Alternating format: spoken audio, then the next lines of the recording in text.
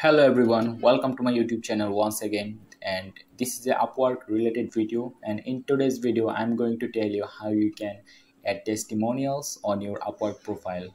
So as you can see I have my profile ready but I didn't have the edited testimonials from my past clients uh, yet now. So I can just add these testimonials and this is saying that showcasing client testimonials can strengthen your profile plus 5% and um, of course if you wanna hire someone you will want to uh, look at their previous work or their previous testimonials from their old clients.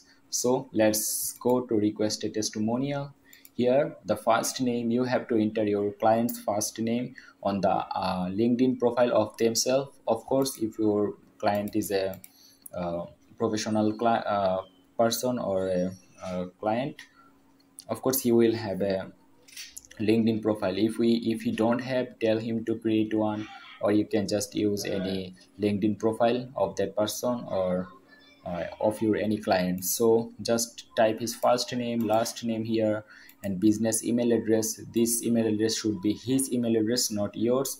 And here client's linkedin profile. So client's title you can say like he is a, a marketing manager of some company and project type like uh, which type of uh, work you did work for him or her and message to client like hi it was great working together on your recent project. Will you mind sharing a brief testimonial about my work. So this is uh, just a requesting to your client like please uh, provide a, uh, testimonial from yourself so i can grow my business on upwork. So you can request the testimonial after filling all them.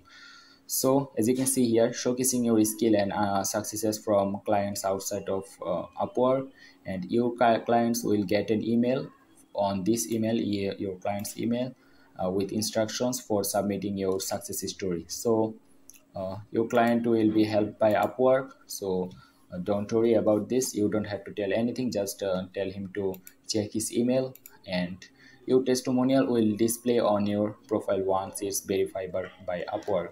So uh, make sure that once you have uh, the testimonial from the client it is not, not going to be show here because uh, upwork needs to verify your prof uh, profile by themselves. Uh, i will make another separate video of upwork profile verification. So thank you for watching this video. I hope you like this video. Please like uh, give a like on this video and subscribe to my channel and keep watching my uh, upwork playlist. Thank you